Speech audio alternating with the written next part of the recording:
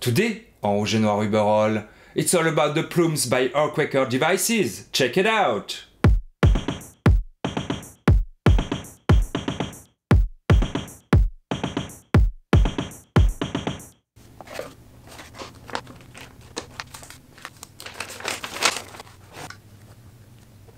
Hi, my new demo is based on Plumes by Earthquaker Devices. It's a transparent style overdrive. Plumes is the Earthquaker take on the classic Ibanez TS-808, but this has a twist. Indeed, it has more headroom, more output, more clarity on the tone control, and the biggest difference versus a classic TS-808 is a free clipping mode. The circuit design is not based on the 4558 IC and the bipolar junction transistor buffer, but is based on a JFET op amp. So what are the controls on this little device? The basic controls that you can find on a classic overdrive.